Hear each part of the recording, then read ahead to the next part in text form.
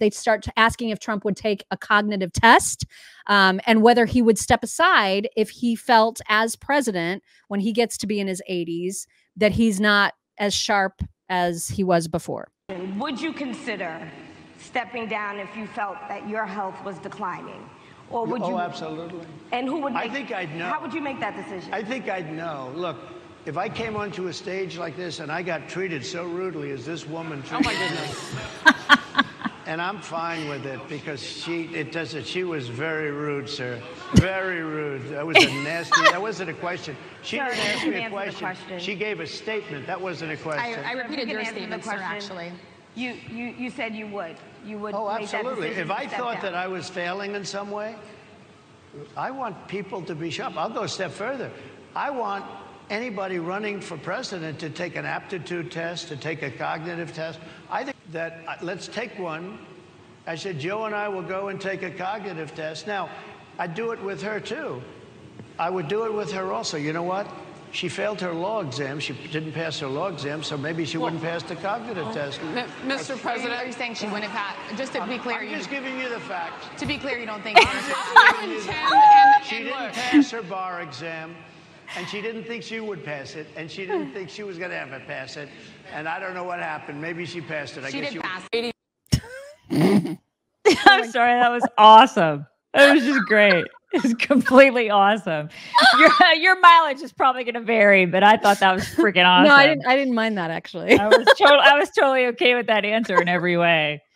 I didn't mind it. I did. I did get a little cringed out um, when he was asked about JD Vance because I felt like his answer should have just been unequivocally yes to the question: Is he ready to take over your presidency if need be?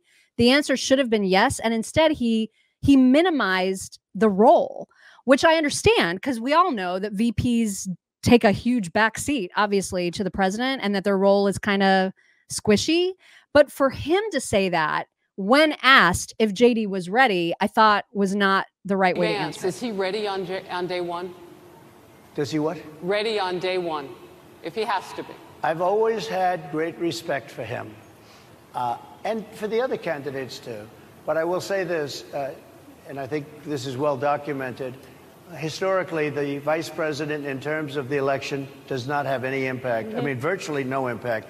You have two or three days where there's a lot of commotion as to who, like you're having it on the Democrat side, who it's going to be. And then that dies down, and it's all about the presidential pick. Virtually never has it mattered. Maybe Lyndon Johnson mattered for different reasons than what we're talking about, not for vote reasons, but for political reasons, other political reasons. But uh, historically, the choice of a vice president makes no difference.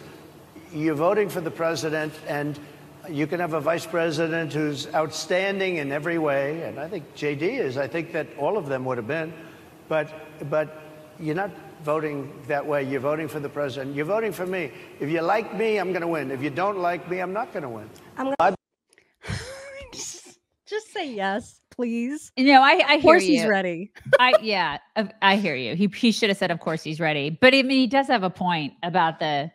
I mean, what do VPs really do? Uh, well, and especially in the election, like I don't know how he's right about it not impacting Yeah. the election, but the the question wasn't about the election; it was about can he do the job day one? Right. And his should have been, of course, that's why I chose him. Done. I, there didn't I, need to be all that stuff in there. I would have been like, "What do you know? Is something going to happen to me? do you know something I don't know? What is something? Yes, that would have been so. somebody going to shoot me again? You know something? if you go to mypillow.com slash chicks and use code chicks huge huge huge sales right now still during their $25 extravaganza thon and look what we discovered today so cool. they have smooth toe compression socks in every possible length you guys the no shows the low cuts the quarter cuts the knee highs they've got them all so if you like that feeling of having your leggies or your feetsies squeezed I like the squeeziness. I'm who doesn't all about like that I'm well, some people don't, but I am all about the squeeziness. So, you guys, compression socks are life. especially if you have to fly. It's just always a good idea to wear them. I like Yeah. how they have the no-show ones. I know, All about that. and they're so cheap, Like right Yeah. now, they're on such huge sale. And again, when you use promo code chicks, mypillow.com slash chicks, you're going to get these amazing deals on all of the socks. Yeah. So why would you not? Their why would you not want to do that? Support Mike Lindell. Seriously, do it. Use code chicks, Mhm. mypillow.com slash chicks. Do it today. Um, this was a great moment. This next one where Trump got an opportunity to talk about how his he has been the victim of a weaponized justice system. I've been prosecuted because I'm a political opponent of two people that have weaponized our justice system. Uh, I've been prosecuted. I just won the big case in Florida. Everyone said that was the biggest case. That was the most difficult case. Uh, and I just won it. Now, Biden has a similar case, except much worse. I was protected under the Presidential Records Act. Biden wasn't because he wasn't president at the time. And he had 50 years worth of documents. And they ruled that he was incompetent and therefore he shouldn't stand trial. And I said, Isn't that something? He's incompetent and he can't stand trial, and yet he can be president. Isn't that Yeah. nice? Mr. President, But they released him on the basis that he was incompetent. They said he had no memory and he was a nice old guy, but he had no memory, and so, therefore we're not going to prosecute him. Uh, I won the case and it got very little publicity. I didn't notice ABC doing any publicity on it, George. You George extensively, sir. I'd love to move over on to I didn't notice topics you now. do I'd any to move on. publicity on. it at all. I won the case, the biggest case. Uh, this was this is an attack on a political opponent.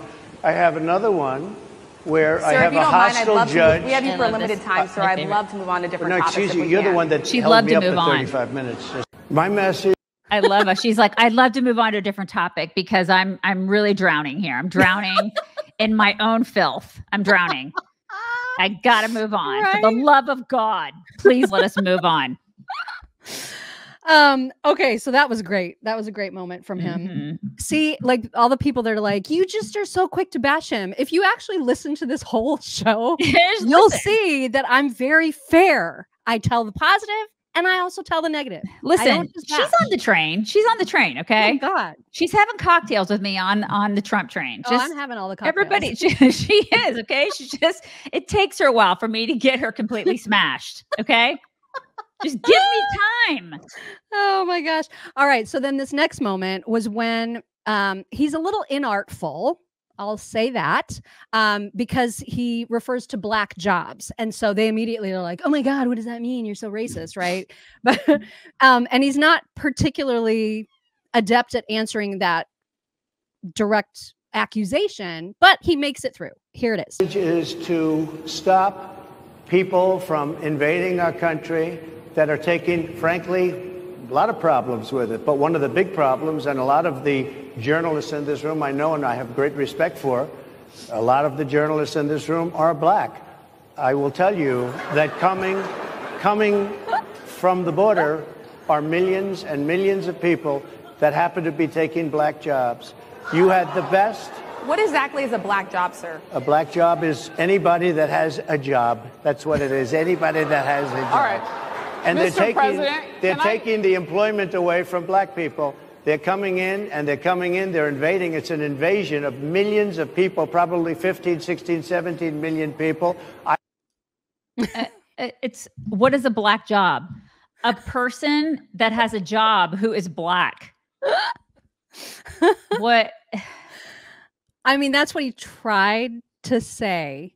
Um, I, and I get his point. Like, I think anybody with common sense understands what he's saying that illegal immigrants are taking jobs away from Black people. I'm Yeah. speaking to a group of Black people specifically. So you should care about that because it's affecting all of you. You know what I mean? As Black people. Listen, this- But I think it's the way he termed it that like everybody just pounced. You know what I mean? I just listen, I don't and this is a broader problem. Like what's in it for these people? If Kamala becomes president and we become like a freaking socialist utopia, you know, in their brains. Like it's just everything is going to become exponentially worse, right? In it, like is going to become worse. Our economy is just going to go in the complete shitter. Everything that you eh, that you're experiencing right now, and I assume some of these journalists they're not loaded, right? I mean, they're like you and me. They live normal lives where they have to go to the grocery store, they have to put gas in their car, they have to do all the things. They live normal lives. They don't live like George Clooney, okay? So what's in it for them to keep perpetuating this? I don't get it. I don't understand. Like the people who get their marching orders and they they have to keep this stuff up. What how is socialism, how is a Kamala presidency going to make their lives better? I don't get it. What's in it for them?